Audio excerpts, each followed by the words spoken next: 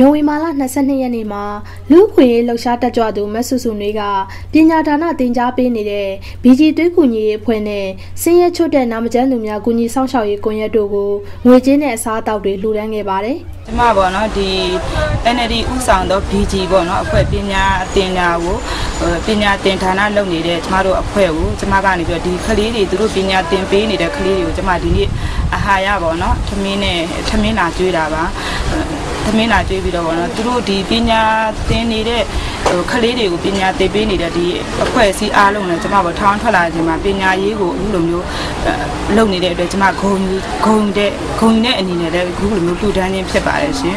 အဲနောက်တော့ဒီကျောင်းမှာဗောနော်အသက်မွေးဝမ်းကျောင်းအနေနဲ့ကျွန်မဆက်တလုံးနဲ့လှူပါတယ်ဟိုဆက်ချုပ်ပေါ်မင်းကလေးတွေဆိုတော့အသက်လက်မှုပညာဗောလိုအပ်ပါတယ်အဲ့တော့ကျွန်မဒီအဖွဲ့ကိုဗောဆက်တလုံးနဲ့လှူတာဖြစ်ပါတယ်အဲဆင်းရဲချိုးတက်ကိုဥဆောင်နေတဲ့ဥကြည်လင်းနဲ့အဖွဲ့အားလုံးလည်းပေါ့ကျမမတန်မှပေါ့နော်ခုံယူမိပါတယ်ဟိုသူတို့လည်းပေါ့ထောင်းထွက်လာတဲ့အချိန်မှာပေါ့နော်သူတို့တတ်နိုင်တဲ့အလုပ်တွေကိုပေါ့နော်သူတို့ပြည်သူလူထုတွေအတွက်သူတို့လုပ်နေတာကိုကျမခုံခုံယူပါတယ်ရှင်စင်ရချွတ်တဲ့နာမကျန်းသူများကုညီဆောင်ရှောက်ရေးကွန်ရက်တောင်းတကုံအတွက်ငွေကျပ်တသိန်းနဲ့ BG ပညာဒါနအတွက်အချုပ်ဆက်တလုံးတို့ကိုလှူဒန်းခဲ့တာဖြစ်ပါတယ်။ကျွန်တော်တို့မှာကဒီတင်နန်းနဲ့ပတ်သက်လို့ဟာစချုပ်တင်နန်းမှာကလူ30လောက်ကျွန်တော်တို့ရှိတယ်အချုပ်ဆက်ကကျွန်တော်တို့မှာက3လုံးပေါ့ဗျာ 3လုံးမှာတစ်လုံးကျတော့ကျွန်တော်တို့ကဒီနည်းနည်း moral မြင့်တဲ့တိတ်ချုပ်ရတာကတိတ်အဆင်မပြေဘူးမဆုတွေလူတွေတစ်လုံးနဲ့ဆိုရင်တော့ကျွန်တော်တို့တော်တော်ကြီးကျွန်တော်တို့အရာရောက်သွားပါတယ်အဲ့တော့ဒီနေ့မဆုတွေလူတဲ့ဟာကိုကျွန်တော်ပြောရမယ်ဆိုရင်ကျွန်တော်တို့ဒီ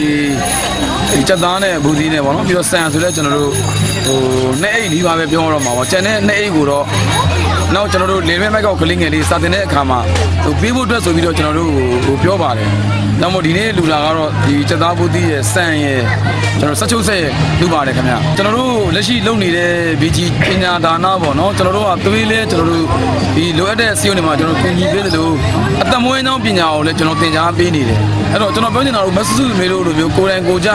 လာပြီးတော့ကလေးတွေကိုကြည့်ရှုတယ်စောက်ရှောက်တယ်။အခြားခြားသောလူတွေကိုလည်းဒီလိုပဲကျွန်တော်တို့နဲ့အတူတူပြည်သူလူထုအကျိုးအတွက်ကိုပူးပေါင်းပါဝင်ကူညီပြီးတော့ဆောင်ရွက်ပေးဖို့အတွက်ကိုကျွန်တော်တို့အနေနဲ့ပြောကြားလိုပါတယ်ခင်ဗျာ နိုဝင်ဘာ22ရက်နေ့ညနေ9:00နာရီခန့်ကစတင်ပြီးအနီးအနားပတ်ဝန်းကျင်ကပြည်သူတွေနဲ့ BG တွဲကူညီရေးအဖွဲ့ရဲ့ပညာဒါနကျောင်းကကလေးငယ်တွေကိုစက်သားဘူးသီးဟင်းနဲ့ထမင်းကျွေးမွေးခဲ့ပါတယ်။